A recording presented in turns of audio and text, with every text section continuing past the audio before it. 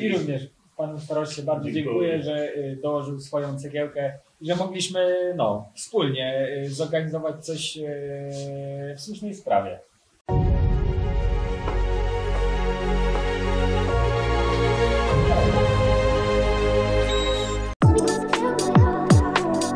Podczas ostatniej edycji Wielkiej Orkiestry Świątecznej Pomocy Jerzego Owsiaka pojawiła się wyjątkowa licytacja wspólnego obiadu ze starostą tucholskim panem Michałem Brozem oraz znakomitym, utytułowanym żużlowcem sponsorowanym również przez tucholskie starostwo Szymonem Woźniakiem.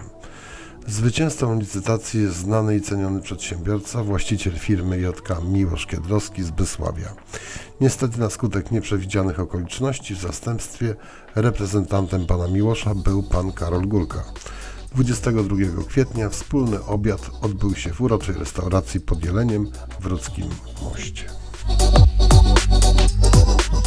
Pierwszy raz, jak w parze startowałeś e, z Bartkiem Zmarzlikiem e, na A, stadionie Polonii. Mistrzostwach żonę tak, e, zabrałem.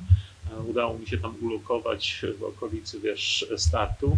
A e, to co chwilę, to w- w telewizji, jak Szymek jedzie, to, to, to tak. Zresztą z mamą Szymona śmieliśmy się, że e, moja żona przychodzi i ogląda tylko te starty, nawet w meczu mm, żużlowym, e, w którym Szymon startuje, a mama Szymona mówi, że odwrotnie, jak Szymon startuje, to wychodzi. No jest taka u nas specyfika, y, że każdy numer startowy jedzie dwukrotnie y, z jednego pola i po razie z pozostałych pól. Y, No a są takie tory, gdzie poszczególne te pola startowe są bardziej korzystne i dlatego wtedy można sobie wybrać numer startowy, który jedzie na przykład dwa razy z pierwszego pola albo dwa razy z czwartego, jeżeli jest bardziej korzystny, a ze wszystkich pozostałych po razie, nie? Bo, bo runda zasadnicza to jest pięć, pięć wyścigów, E, I w tej rundzie zasadniczej chodzi o to, żeby być e, z 16 zawodników w najlepszej ósemce. Wtedy po tych e, pięciu wyścigach rundy zasadniczej, jak się jest w pierwszej ósemce, to e, bierze się udział w półfinale. E, Są dwa półfinały, czterech i czterech, bo jeździmy po czterech. I po dwóch najlepszych z każdego półfinału awansuje do wielkiego finału i, i tam już się rozstrzyga zwycięstwo.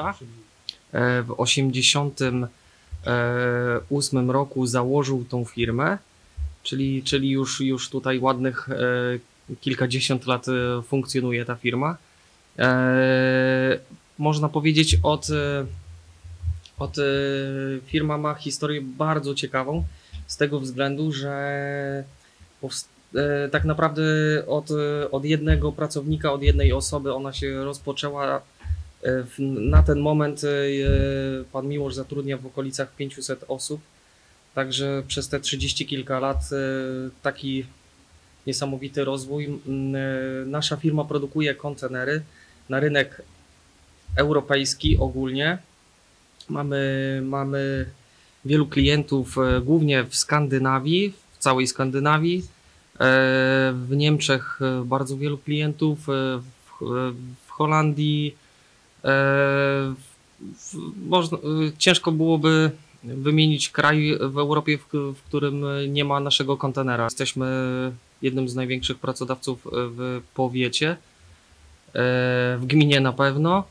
W powiecie chyba, chyba gdzieś tam drudzy jesteśmy na ten moment, ale, ale jeżeli chodzi o, o zatrudnienie na umowę o pracę, uważam, że jesteśmy, że jesteśmy e, liderem. Bo... E, Mam akurat dwa silniki e, w bagażniku, odebrałem po serwisie, bo właśnie już się szykuję na, na Mistrzostwa Świata, na Ten weekend. sport Już, jest tak elitarny, że żeby do uznanych, renomowanych firm, jak na przykład gości, którzy zajmują się silnikami dostać, ja powiem tak, ale to nie jest tak, że się dzwoni nie Kowalski, tak?